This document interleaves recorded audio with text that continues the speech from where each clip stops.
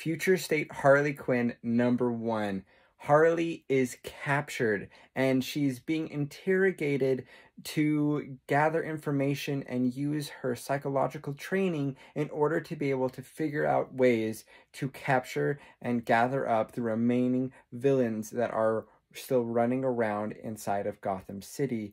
And this was super interesting and fascinating to see her think through and figure things out and use that kind of training that she has in order to be able to gather up these villains. And the person that is on the other side of the table working with her was surprising and interesting. And I thought this book was great. A good, good story added in there for Harley Quinn.